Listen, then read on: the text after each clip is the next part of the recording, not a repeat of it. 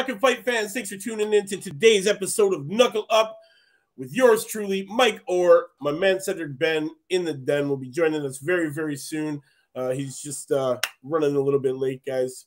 Uh, so today we're going to continue on with talking about some uh, wonderful prospects here, and uh, we're not we're not going to continue over to the UK. We're going to start over here. Uh, he now resides out of Las Vegas, Nevada. definitely a highly decorated amateur that I want to talk about.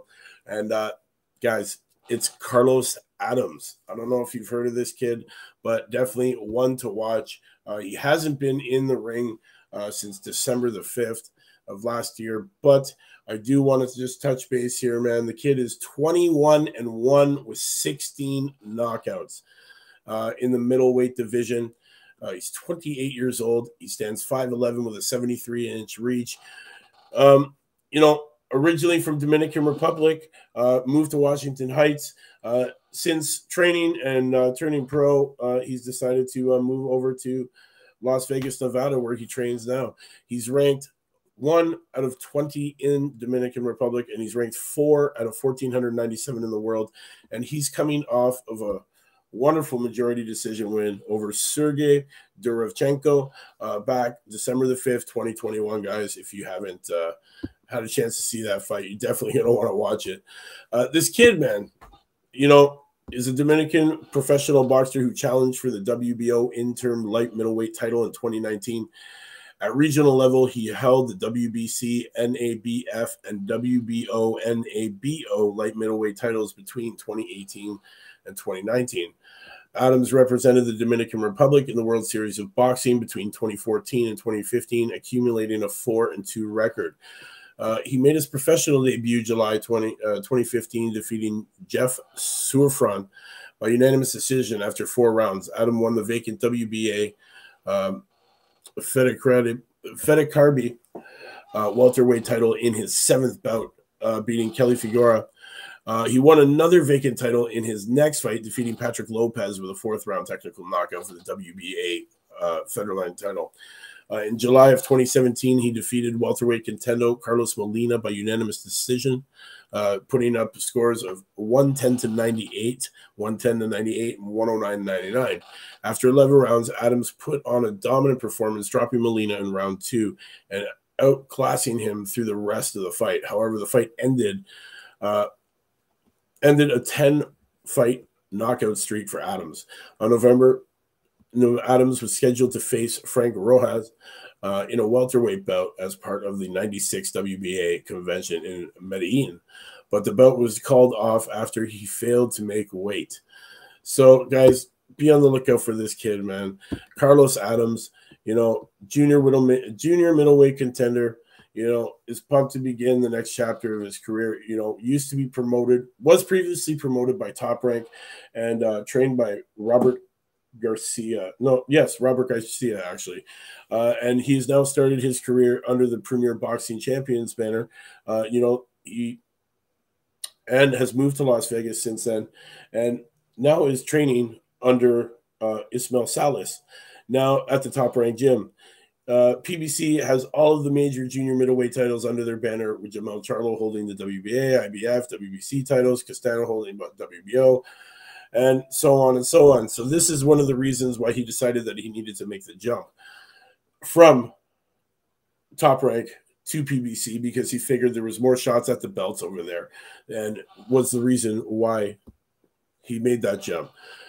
Now, talking about a bit about this kid's backstory, uh, he's got he's got a real great uh, real great story here, and uh, honestly, I couldn't believe how many how many siblings this guy has.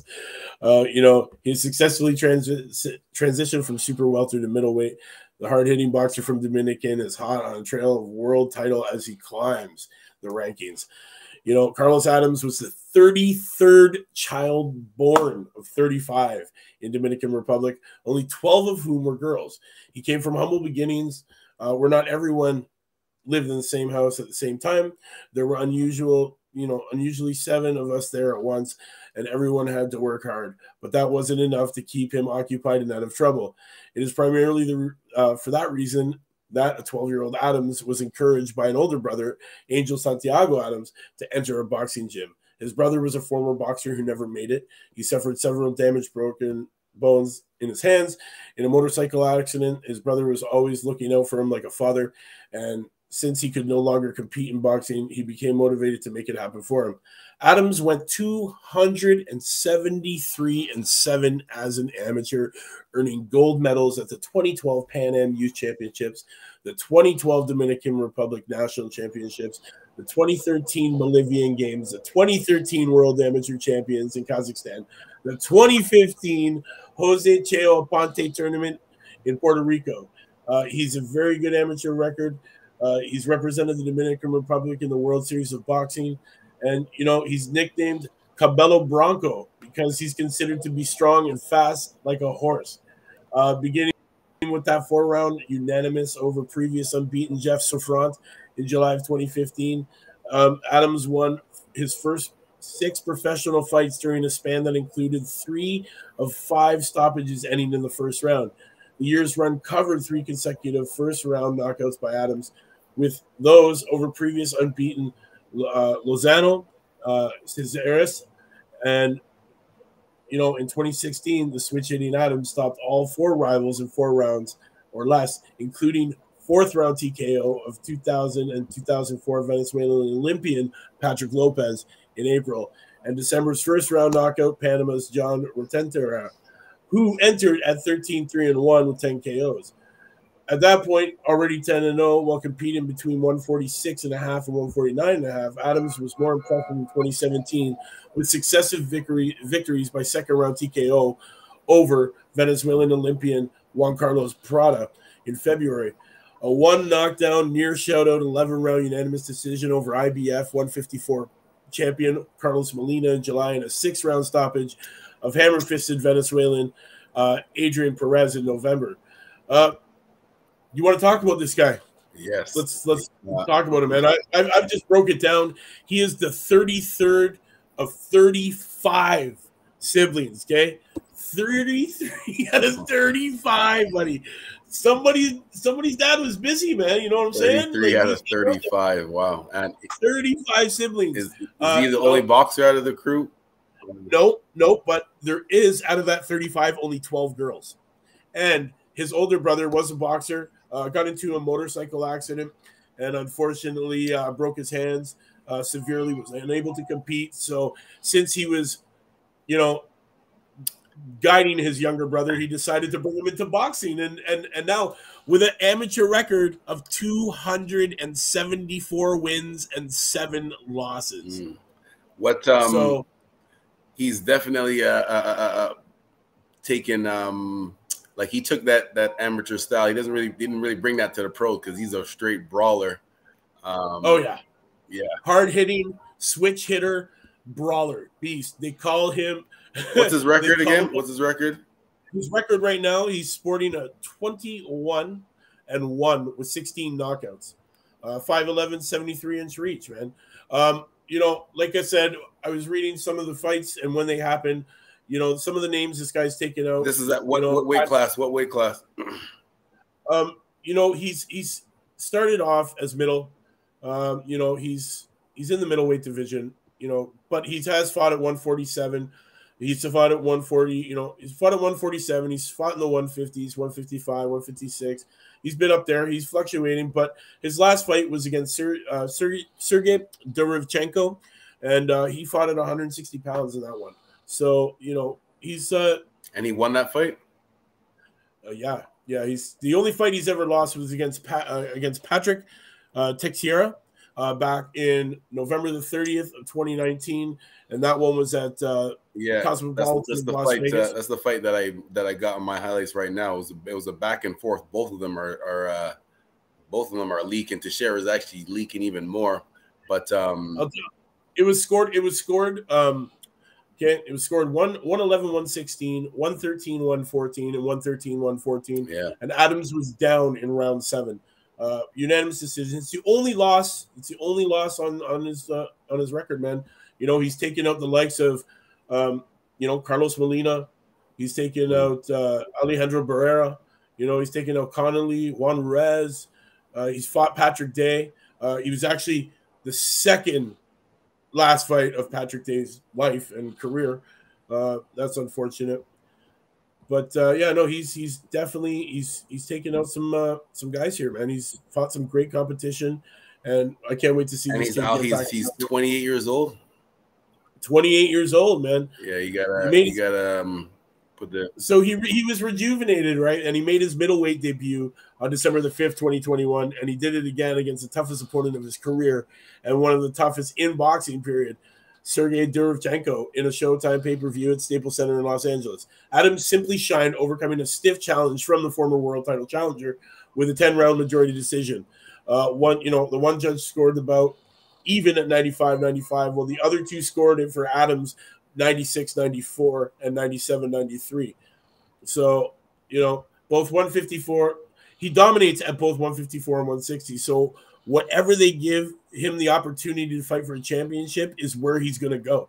And the reason for leaving top rank and being trained by Robert Garcia to make the jump to PVC or P, sorry PVC PBC uh, and you know working with Ismael Ismael Salas, um, he just felt that more opportunities for the belts were over in PBC. Man, he felt that it was much easier uh, to to get what he wanted over there. So you know, because PBC has all the major junior middleweight titles under their yeah, belt. You gotta, you know, go, Charlo, you gotta go. where you're gonna get the most competition and um, not the most competition, but the best the best fights for the most amount of money. And so whatever you know, different promotions have uh, like for example, like you said, PBC they have a lot of the most of the 147s and and and uh, most of the heavyweights too, um, and a couple and a couple of the other divisions they're they're gaining a lot of a lot of other guys too. Um, so we'll see. We'll see. When when's his next fight? Is he even his next fight scheduled? It's not scheduled yet, man, but I'm thinking we're gonna see him real soon because honestly, it hasn't been since December. He hasn't been out since December. His last fight against Derevyanchenko, majority decision. Uh, you know, his only losses to Teixeira, and you know, I can't wait to see this guy. PBC, they got to really get this kid out there and get him on on you know on these events, man. This kid can definitely be wearing a belt. You know, Great brawler, good IQ in the ring, man. Definitely can fight. You know he can hold his own. I know you're watching those highlights as, as I'm talking right mm, now. Yeah, yeah, yeah, yeah. right. He's definitely, I like how he, uh, he's definitely coming forward. Like he keeps his hands up. He's not. He's not trying to make it a secret what he's trying to do. He no man, that he's, seek and destroy, um, seek and destroy mentality. He definitely, definitely. He's got that. Uh, when did he turn pro? Because uh, Carl's mentioned he's 28, no spring chicken. What, what, when did he turn pro? His pro debut was 2015 07 24. 20, so, 2015. So he has, he's only been pro for seven years. So I mean, he he probably had a late start, even though he's he's old in age. Um, professional experience, he only has seven years. So yeah, but he, he fought the, he fought in the amateurs a long time, right? Like to rack up 274 wins and seven losses. Yeah, yeah. Well, Lomachenko, Lomachenko has 400, 400 amateur yeah, fights for turn pro. So it all depends. It all depends how you know, and and those are three rounds. That's not like they're they're wars. But I don't know. I, I haven't seen any of uh, Carlos's uh, Adames amateur fights. But if he fought like this in the amateur, did he win anything as amateur? Yes, yes, he did. He won. He won quite a few as amateur man. Okay, um, okay, okay. He's uh so he won um as an amateur he won. Uh, what was it? Oh man. Honestly, there's just too there's too many. There's too many to even like. Se- yeah, I understand. Carl saying seven years in the pro game is a long time. Yeah, it is. And sorry, remind me of his record again. How many fights does he have? Twenty-one and one. With yeah, yeah, yeah. Knockouts. So by the time he's what 28 right now, five years would be 33. He'll get another, you know, six, seven fights. Yeah, yeah, he's he's right there. He's so, right so there. As, so as an amateur, he earned gold medals at the 2012 Pan Am Youth Championships, 2012 Dominican Republic Youth National hmm. Championships, 2013 Bolivarian Games, 2013 World Amateur Championships in Kazakhstan, 2015 Jose Cheo Aponte Tournament in uh, Puerto Rico. You know, he had a very good rare. He was in the World Series of Boxing. Uh, he went, I believe it was four and two in that. So you know, the guy has a lot of accolades as a you know amateur. So it's it's no no surprise that he's going to come in here and whoop some ass as a as a pro, right? Mm. So honestly, guys, you heard it here. Watch out for this kid. Hope to see him real soon. Shout out to Carl dropping all the shout out. Shout out to Carl from Last Bell Boxing Club, Boxing Club, Boxing Show every Thursday, uh, 2, 2 p.m. Canadian time for all the Canadians that want to make sure to listen to their show. Also, shout out to Lucky Gray. What up, Sanchez? Yeah, what up, in. what up, Sanchez? Thanks for tuning in. Shout out to all our wonderful fans watching around the world. You know what it is, man. Happy hump day. I hope the rest of your day is just as wonderful and humptastic as ours. We will see you tomorrow, same time, same channel. If you haven't yet, hit up talkinfight.com. Hit that subscribe, like, and share, and tell all your friends. And we'll see you tomorrow, same time, same channel. Until then, knuckle up.